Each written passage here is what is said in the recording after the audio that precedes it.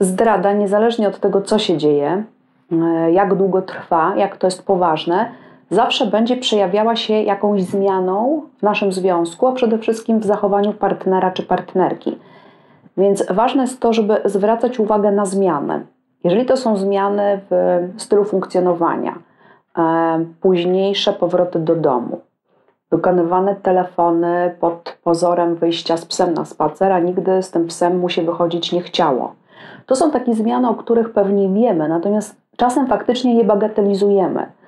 E, przytaczać można byłoby wiele przykładów. Chodzi o to, że jeżeli ktoś wkracza w naszą relację, coś się dzieje w życiu naszego partnera, to będzie to automatycznie wpływało na nasz związek.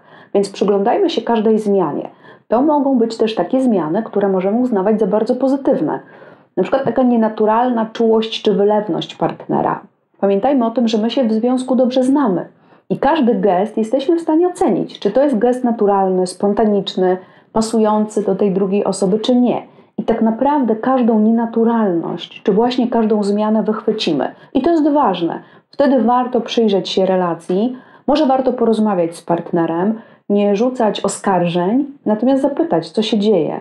Zastanowić się, czy faktycznie w tej relacji od jakiegoś czasu e, nie dzieje się coś złego, ponieważ zdrada z reguły jest mm, próbą zaspokajania jakiejś potrzeby, która nie jest zaspokajana w relacji.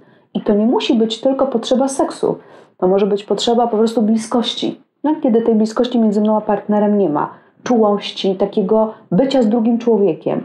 Więc przyjrzyjmy się relacji, czy czegoś nie brakuje również nam i przyjrzyjmy się zmianom, jeżeli takie zauważamy w zachowaniu naszego partnera. Są takie stereotypowe podziały, które pokazują nam różnice pomiędzy zdradzającym mężczyzną a zdradzającą kobietą.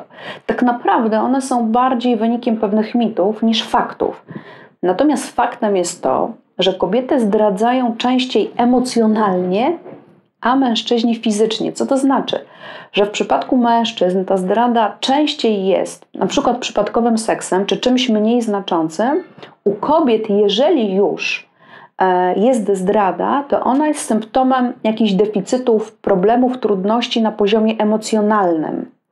I niestety zdrada kobiety bywa zdradą poważniejszą, niosącą większe konsekwencje dla relacji.